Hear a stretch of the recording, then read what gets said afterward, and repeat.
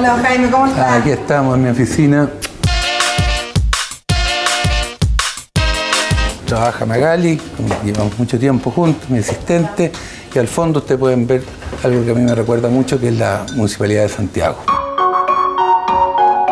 Cuénteme, ¿dónde estamos aquí, don Jaime? acá es la oficina, mi oficina, desde el año 2006. Aquí está la sala de reuniones. Aquí tengo fotos de amigos y conocidos que fueron relevantes en la política los últimos 20 años. Ahí está Silvio Lusconi. Recibimos a doña Cristina cuando era una niña, antes de todos los problemas que ha tenido. Fue una de las primeras visitas antes que los reyes. Aquí está Butros Ghali, secretario general de Naciones Unidas.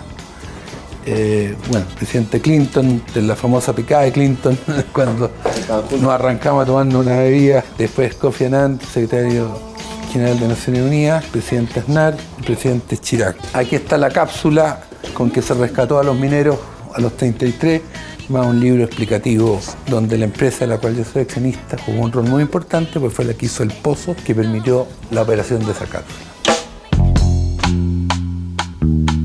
Bueno, normalmente eh, mis actividades son de servicio a la minería, algunas industrias vinculadas que fabrican equipos y piezas para minería, actividades inmobiliarias. También soy presidente de una empresa de capitales españoles. Trabajo por tanto corrido, parto tardecito, tipo de y media, 11 de la mañana aquí, hasta las 7, 8 de la noche. Y ahí normalmente eh, voy a la casa o a la casa de mis hijos, ver a los nietos, etcétera. Don Jaime, ¿y alejado 100% o no de la política? No, el bicho uno lo tiene adentro.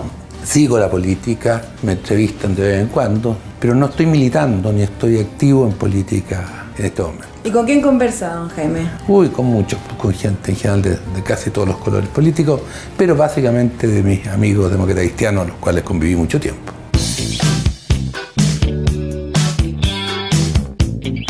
Juego tenis desde muy pequeño. Eh, normalmente juego eh, con entrenador acá eh, los días miércoles y viernes y los sábados domingos que me quedo en Santiago, sino normalmente juego en, en- en la playa. Bueno, estamos juntos un poco más de 22 años por ahí. Me encanta, creo que es un juego muy rápido, lo he practicado desde muy chico y el, el único deporte que me ha acompañado a, a lo largo de toda la vida. Fue bastante bien y la, la misión mía es pasar- hacerlo pasar un buen rato y hace una jugada muy positiva, así que no, eh, me entretengo yo y él también lo pasa muy bien. Tengo los dos golpes bastante parejos, eh, aunque en la izquierda a veces coloco mejor.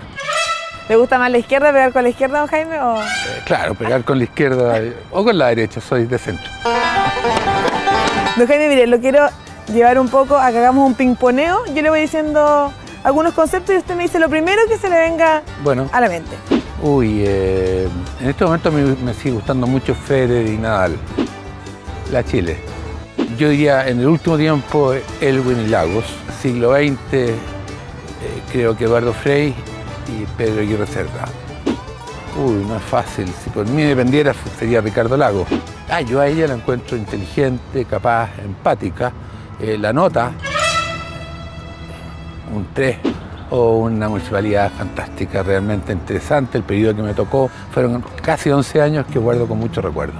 Un hombre capaz, inteligente, buen tipo, eh, como alcalde de Santiago no lo hizo bien. Igual de inteligente, la encuentro muy llevada a su idea, eh, muy a la izquierda en mi opinión, y como alcaldesa lo está haciendo bien más o menos. No, ya, ya pasó la vieja. Bueno, don Jaime, estamos ahora en su casa, ¿no es cierto? ¿Cómo ha sido este cambio de vida? Usted hace cuatro años atrás era ministro y ahora ya fuera de la política. ¿Cómo vivió este cambio? Eh, con mucha tranquilidad, con mucha felicidad. ¿Por qué quiso integrarse al gobierno de Sebastián Piñera? Pensé que era una oportunidad para eh, factibilizar un gobierno de centro y de derecha eh, que pudiera continuar con la labor de la concertación. No me equivoqué en cuanto a ministro de Defensa. Creo haber aportado, he hecho importantes contribuciones y un cargo que me encanta.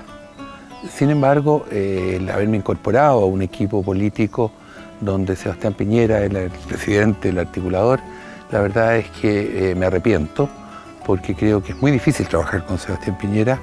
Es un micromanager, un hombre que está en todos los detalles, omnipresente en todo, y delega muy poco y por tanto no me, no me ajusté a trabajar con él.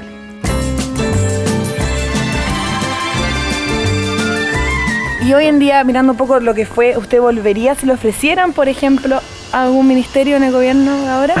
Siento que hay una gran tarea que realizar y estoy seguro que cualquier presidente o presidenta el día de mañana me ofreciera ser ministro de Defensa, yo creo que no dudaría en aceptarlo. No lo volvería a aceptar si Sebastián Piñera fuera nuevamente presidente, porque no puedo trabajar con él, no me acomoda. Jaime, ¿cómo ve usted hoy en día a la democracia cristiana? Siento que la democracia cristiana ha tomado nuevamente un liderazgo importante y es la que a mí me identifica históricamente. ¿Podría volver a militar, por ejemplo? No lo he pensado, eh, en verdad, pero tampoco lo descarto, o sea, algo que habría que ver.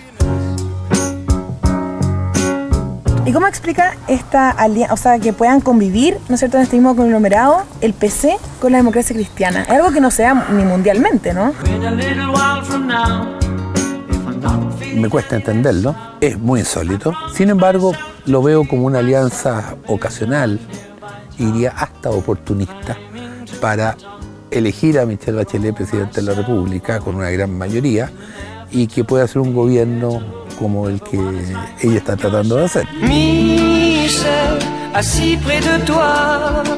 Además, perdone que le diga, yo no sé qué es ser comunista hoy día. Yo creo que lo- la convivencia entre la DC y el Partido Comunista ha sido más fácil que con sectores del PPD o socialistas eh, que han estado pidiendo retroexcavadoras. He visto que quiere que le diga más moderación el Partido Comunista que en el PPD o algunos sectores socialistas. Y en ese sentido, ¿se viene un cambio de gabinete, cree usted? que se justifica un cambio de gabinete en la medida que la presidenta también quiera eh, hacer lo que hizo en su primer gobierno. Esto es llamar a gente con más experiencia, eh, como Edmundo Pérez, como José Antonio Viragallo y otros, muchos otros que se sumaron. ¿Qué le parece esto que se haya llevado a cabo después de lo que pasó con Perú y ahora con Bolivia? Yo en general soy bastante crítico del rol de nuestro Ministerio de Relaciones Exteriores.